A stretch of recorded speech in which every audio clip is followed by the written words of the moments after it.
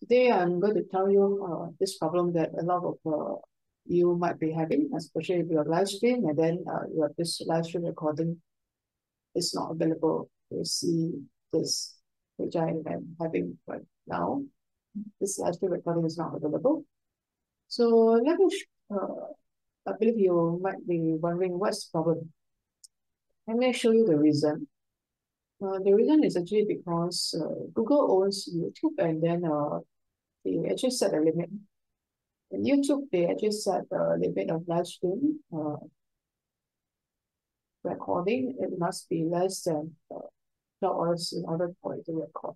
So it's actually shown here in this link, support the google.com YouTube license. It's uh, link here. Okay. I'll put this link in the description uh, my video recording. So basically it's saying about uh, YouTube uh, archive live streams uh, rules and regulations. Let me read to you. If your live stream is less than 12 hours, YouTube can automatically archive it for you. This option applies to all types of live stream, including encoder, webcam, and mobile. YouTube will also automatically archive streams of 1,400 visitors.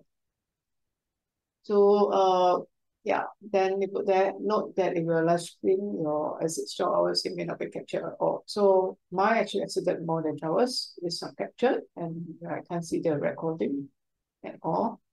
Uh, yeah, so that's the reason why. So, okay, so basically hope you find this useful.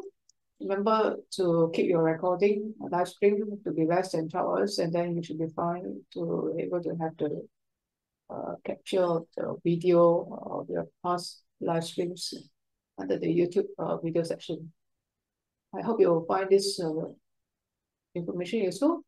If you like this uh, video, please help to like and subscribe to my channel. Thanks for watching J Channel Media. Thank you. Bye.